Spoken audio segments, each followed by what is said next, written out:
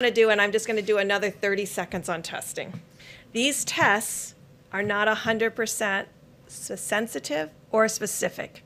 And I'm going to go over this over and over again. So if you have 1% of your population infected, and you have a test that's only 99% specific, that means that when you find a positive, 50% of the time it will be a real positive, and 50% of the time it won't be. And that's why we're really asking people to start testing in among the first responders and the healthcare workers that may have had the greatest exposure, because that's where the test will be most reliable. And then when we have the luxury, we can go out to broader and broader communities. But this has been the fundamental question to begin with and has been persistent. And we will emphasize to the American people again this is a highly contagious virus. And we don't know by looking at someone whether they have pre existing conditions or not.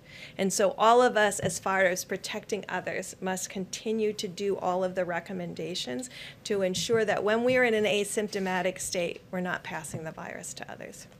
Question for you as well. Uh, the governor of South Carolina announced today they're going to open some stores with restrictions.